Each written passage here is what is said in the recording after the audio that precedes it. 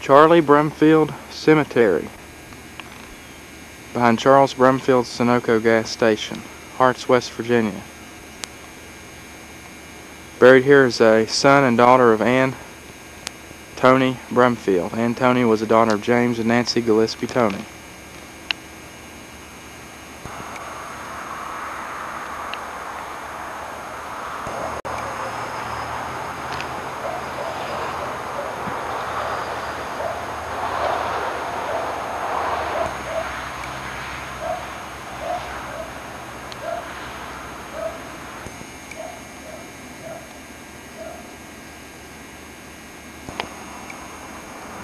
Headstone for Charlie Brumfield, son of Paris and Ann Toney Brumfield, grandson of James and Nancy Gillespie Toney.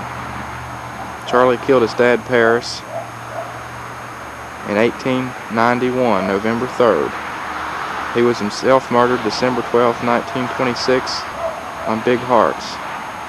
Today's date's December 5th, 1995. Footstone for Charlie Brumfield.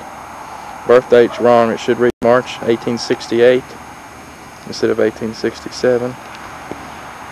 Footstone for his wife Caroline. Her death date was never put in, but it was 1927. Caroline was a sister to Holleen Brumfield and Harriet, both of whom married brothers to Charlie. Three brothers Married three Dingus sisters, all daughters of Henderson and Sarah Sally Adams Dingus.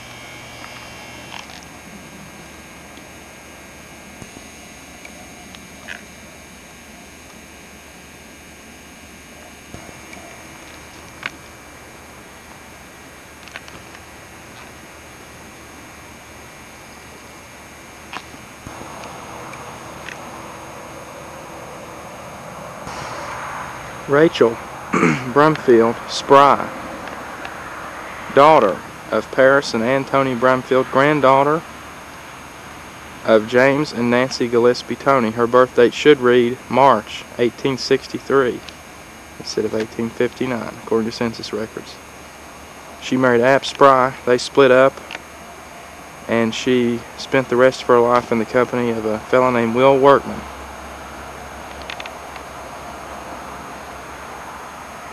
Rachel Brumfield Spry.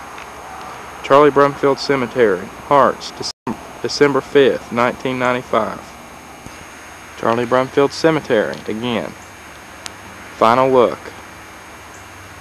December 5th, 1995. Behind Charles Brumfield, over in the Paris Brumfield Mose Brown Cemetery, which few people know about. Uh, Charlie's oldest daughter kept it all grown up. She wouldn't let anybody put marked stones in it or clear it, which is kind of interesting. Look at the old Charlie Brumfield house, built in the teens, we think, around 1917, 18, maybe a little earlier, maybe a few years later. Five stones, graves that we found here uh, in the Paris Brumfield Cemetery. We don't know who's who, but when I was here last time, a few years ago, I only found two, but now we found five in the fall of the year when everything's a little The grass and weeds are all dead and gone and you can see a little better. Date December 5th, 1995. Again, one of five graves. It's the second of five graves here at the Paris Brumfield Cemetery. Five graves here at the Paris Brumfield Cemetery. Remember, Paris married Antonia, daughter James and Nancy Gillespie Toney. That's why we're here on this tape. Ann Toney was a sister to Mose Toney and all them other people that we saw earlier on the tape over on Little Heart and elsewhere. Cole, fourth of five graves. Paris Brumfield Cemetery. That we spotted.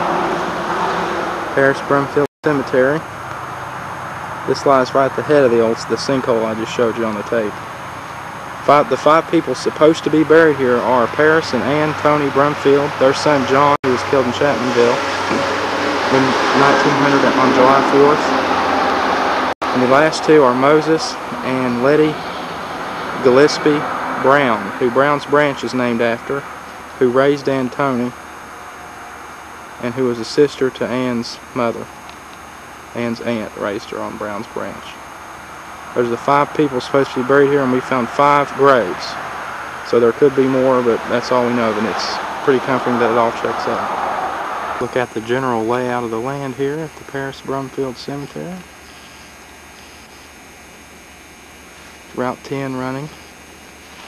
Very close by. Old Charlie Brumfield house. Over here at the what's now the Kirk family cemetery behind Iris Williams' house on West Fork. Looking down at the older part of the cemetery, which were our graves primarily unmarked, most belonging to the Vance family. But we've recently been told that there could very well be some Fowlers buried here because right on the adjacent property, which you can't see for the brush, past this brush here, is where Rawls and Ross Fowler and a lot of the Fowlers lived. Rawls' sister too, who never married. so they could be buried here. We just don't know. December 5th, 1995.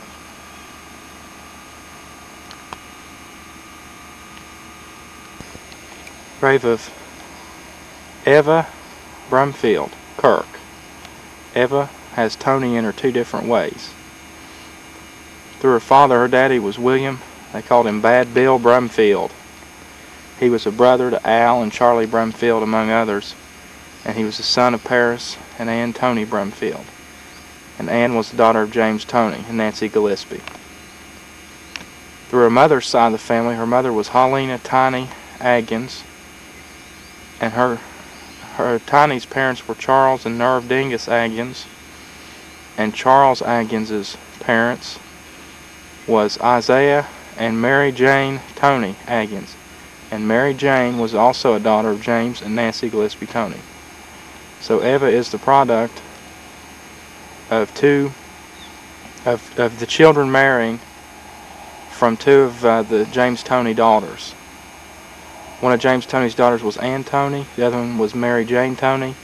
And down the line, their kids and grandkids intermarried. And Eva was one of the products of that intermarriage. She married Thomas Patton Pat Kirk.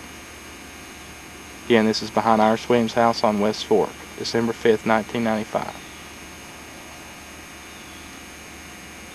Fork Cemetery over behind Iris Williams. Graves of two McLeod children, they're buried this way, but their headstones are that way, I was told a couple years ago. Interesting little story there. Now at the hill then is the old Vance and possibly Fowler graves, and then even further up are the Kirk family graves. And this is at West Fork, behind the Iris Williams place. And we'll take a little peek at Iris's setup here too. She has a very nice estate despite the fact I'm behind a clump of trees. It's very nice. Marsh Williams property on West Fork looking to what used to be the old Ross Fowler place, sitting somewhere over in this area. His sister also lived around here. And and you know of course all their kids and, and so on and so forth. This is an old Fowler estate here, even though it's probably long since passed out of Fowler hands. Looking up the creek from Iris Williams's. Another view of the Iris Williams property on West Fork. Nice place. Another look at the old uh, cemetery here on West Fork behind Iris Williams' place. Iris has just informed me that there are 35 graves located in the old section, and there are Fowlers and there are Vances here, in addition to the people I've already shown you. And of course, the Kirk Cemetery, I'm not focusing on it because there's uh, no relevance to it to this tape, except through Eva, who descends through the Toneys twice. So again, when Eva's husband died, he told his daughter, Iris, not to bury anybody below his and, and Eva's grave because uh, there were 35 or so graves down below there. Two of his brother, one of his brothers that died young, one of his sisters, Vances, Fowlers, McLeods, and just a whole bunch of people down in here. So again, I wanted to put that information on the tape. That's pretty. Here in the Charlie Davis home down here at Harts, right by the high school. Charlie's daddy was Samp Davis, and Samp was the son of Giles and Ann Frances Aggins Davis. And Ann was the daughter of Jake and Letty Kibben Toney Davis, or Aggins. Jake Aggins was Charlie's great-grandpa. And this was Jake's gun, and he sold it to his son-in-law Giles Davis, Charlie's grandpa, and then Giles traded it or sold it to his son Samp Davis, and Samp did the same with Charlie, who now has it. This is an old Levi Rakes gun, and it's definitely it was made back definitely in the 1800s. Old gun, Charlie has it. This is a family heirloom that's been handed down through, came through the Jake Aggins family. Jake had married uh, a Toney. Her mother was a Gillespie. She was a daughter of James and Nancy Gillespie Toney. And then it's been handed down subsequently to the da through the Davis family, who married into Jake's kids.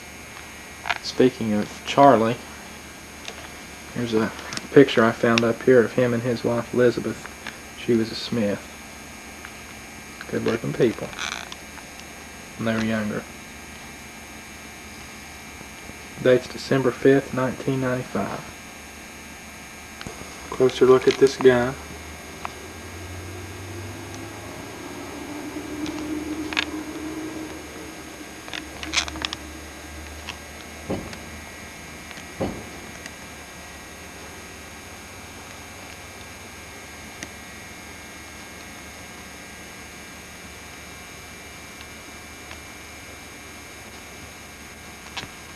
What's really neat about it too is it has a pouch that com comes and hangs here with it. And inside it are several items of interest. Against the pouch, you can see the powder horn there.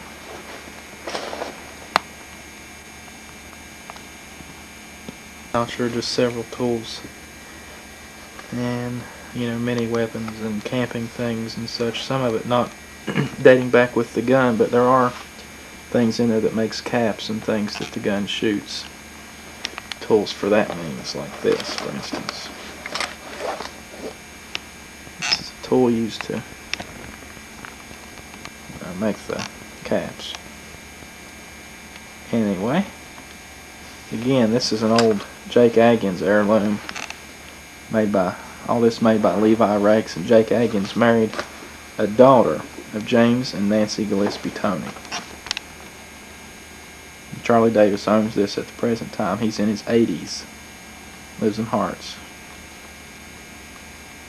Son of Sampson and Amanda Messer Davis.